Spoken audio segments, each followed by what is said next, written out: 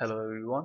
In this video I'm going to show you how to plot multiple diagram into single graph. So here uh, I'm going to draw sine and cos curve. So first of all we need some data points and uh, those data points we are going to generate with the help of NumPy library.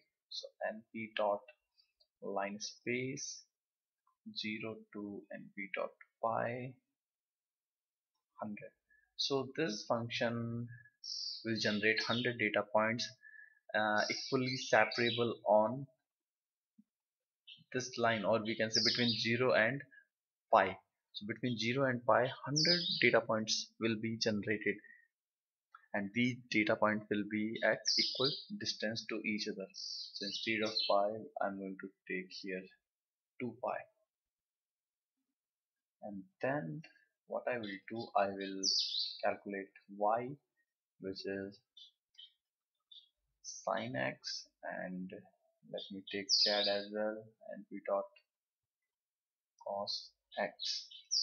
And then we will plot here x y dot plot x z and here we will specify a label. Let's say sine x and here we will write cos x. Plt dot show. And before this one we also write plt dot legend.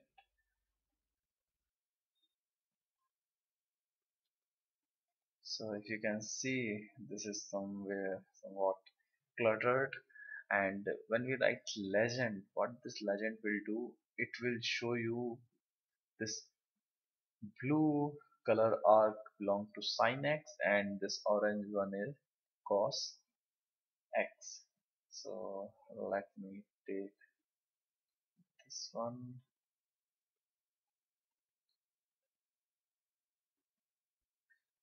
so instead of 100 data points let me take 10 so now it's uh, looking much better than the previous one.